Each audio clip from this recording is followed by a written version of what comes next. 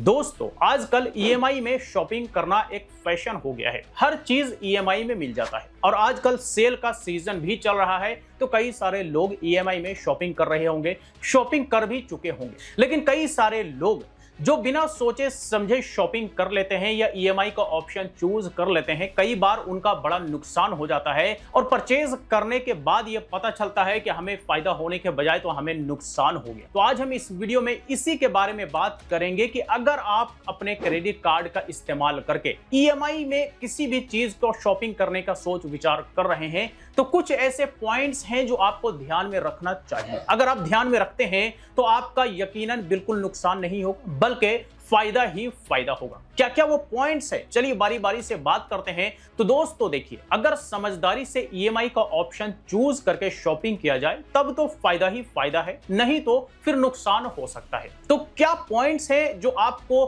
फ़ायदा दिलवा सकता है, आपको ईएमआई पर नुकसान से बचा सकता है, वो सारे पॉइंट्स आज हम बारी बारी से डिस्कस करने वाले हैं। तो पॉइंट नंबर वन जो है, वो है कि आप एक कंपैरिजन कर लें।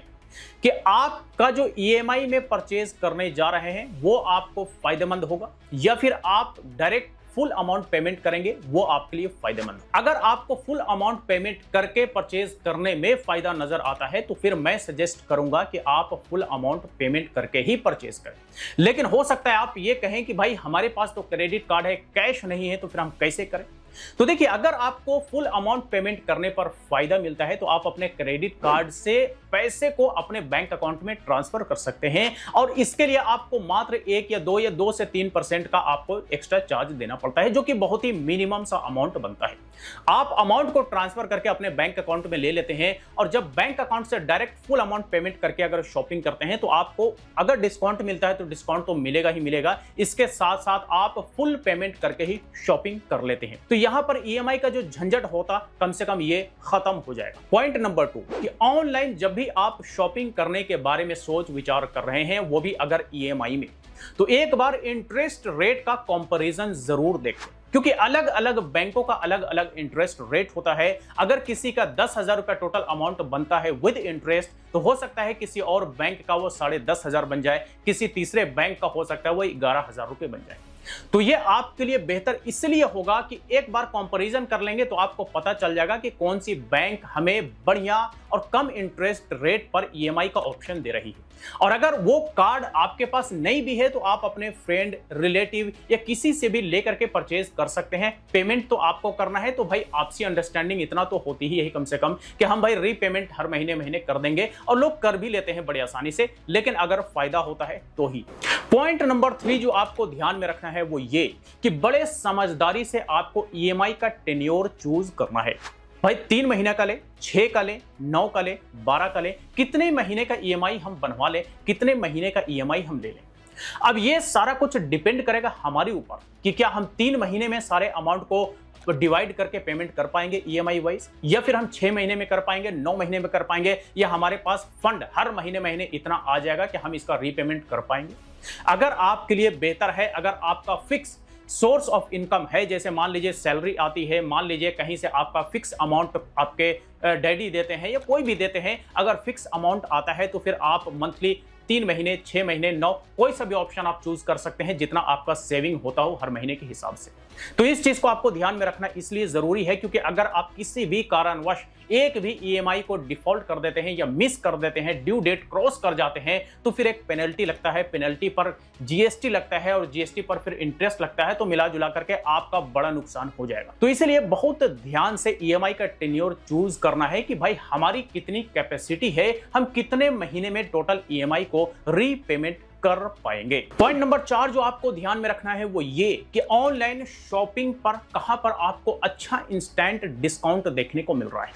अच्छा इंस्टेंट डिस्काउंट का मतलब यह हुआ कि आजकल सेल का दौर है सेल चल रहा है। आजकल अमेजोन पे फ्लिपकार्ट पे कहीं से भी आप अगर कुछ परचेज करते हैं क्रेडिट कार्ड को यूज़ करके तो अलग अलग क्रेडिट कार्ड का वहाँ पर डिस्काउंट तो ये चीज़ें आपको ध्यान में रखना है कि जो कार्ड आपके पास है, क्या उस पर इंस्टेंट डिस्काउंट है।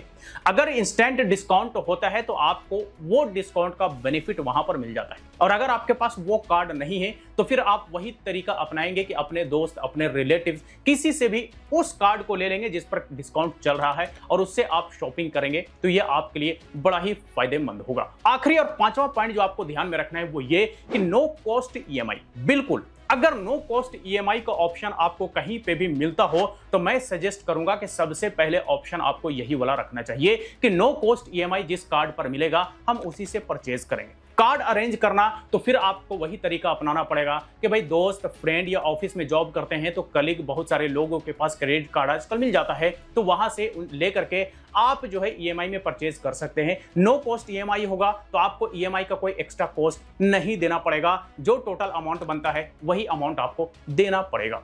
ठीक है? तो ये जो ईएमआई में परचेज करने के लिए जो लास्ट के चौथा और पांचवा पॉइंट है, अगर ये दो आपको कहीं भी मिल जाए इंस्टेंट कैशबैक और नो कॉस्ट ईएमआई तो मैं सजेस्ट करूँगा कि आप इंस्टेंटली उस प्लेटफॉर्म से आप परचेज कर लेंगे, क्योंकि उससे आपको अच्छा खासा फ़ायदा हो जाएगा। एक तो इंस्टेंट डिस्काउंट दूसरा नो कॉस्ट ईएमआई यानी कि जो ईएमआई पर एक्स्ट्रा इंटरेस्ट लगता, वो भी आपका यहाँ पर बचत हो जाता है। तो यहाँ पे आपको डबल फ़ायदा हो जाता है। तो इसीलिए बहुत ज़रूरी होता है कि अगर आप ईएमआई में किसी भी चीज़ को परचेज करते हैं, क्रेडिट कार्ड को यूज़ करके तो बहुत ज़रूरी है इन सारे पॉइंट्स को ध्यान में रखना। अदरवाइज़ आपका नुकसान हो जाता है और नुकसान बाद में होता है तो वो आपको भरना ही पड़ता है, चाहे वो जितना भी नुकसान हो। तो आई होप कि आप लोगों को ये समझ में आ गया होगा कि क्रेडिट कार्ड से ईएमआई में परचेज करने से पहले आपको किन किन चीज़ों पर ध्यान देना है किन किन बातों को ध्यान में रखना है ताकि आपका नुकसान ना हो, बल्कि फ़ायदा ही फ़ायदा हो। तो चलिए आज तक के लिए इतना ही। इससे रिलेटेड अगर फिर भी कोई सवाल हो क्वेरी हो तो आप हमें कमेंट बॉक्स में लिख करके पूछ सकते हैं। वीडियो अच्छा लगा हो तो लाइक करें, ज़्यादा ज़्यादा लोग सब शेयर करें और इस तरह के वीडियोस के लिए हमारे यूट्यूब चैनल को भी सब्सक्राइब करें